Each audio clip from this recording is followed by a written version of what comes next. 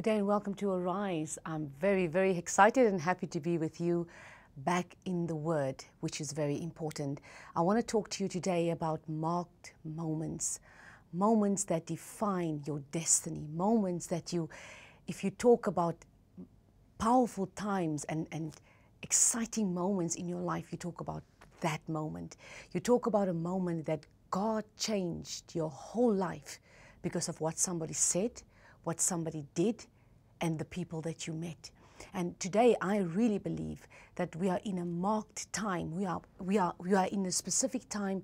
God called us for this time. God called us for this era, and God is about to do mighty things. And I want you to really be attentive to the voice of the Holy Spirit.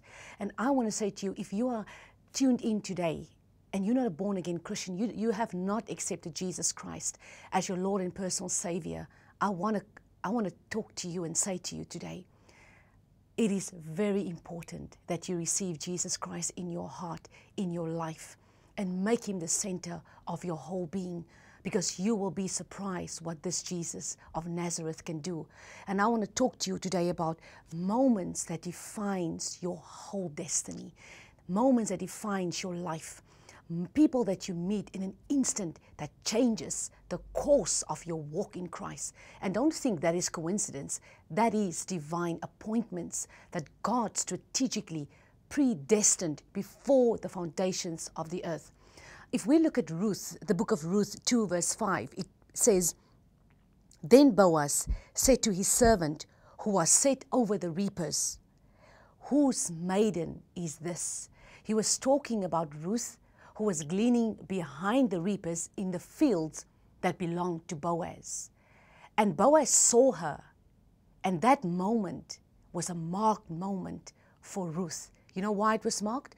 Because it changed the course of her destiny. Not just her destiny, but also Boaz's death destiny.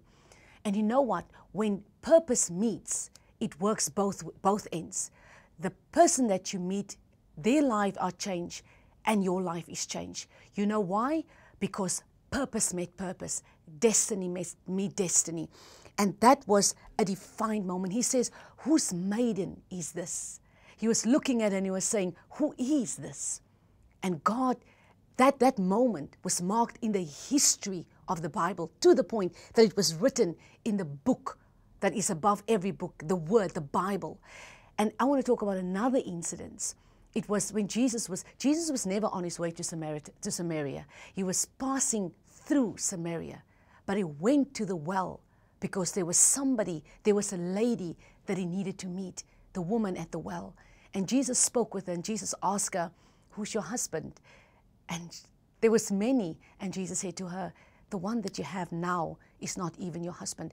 And Jesus, a Jew, spoke into a Samaritan woman's life and it marked the course of her destiny to the point that she went back to Samaria. She spoke to the people. I always want to, I almost want to say in the village. She spoke to the people in the village about this man who spoke about her whole life. And not just did he change her life, but he changed Samaria. It changed the nation. It changed her generation. I want to quickly tell you marked moments will change the direction of your life. Marked moments is when people will have conversations with you that will bring you in alignment with your destiny and your purpose. Marked moments can be a conversation.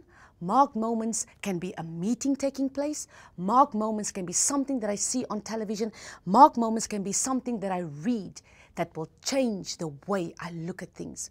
And I want to tell you, today is a marked moment in your life. I pray today in Jesus' name that this minute in your life will change the course of your life because you are called for destiny. Until next time, God bless.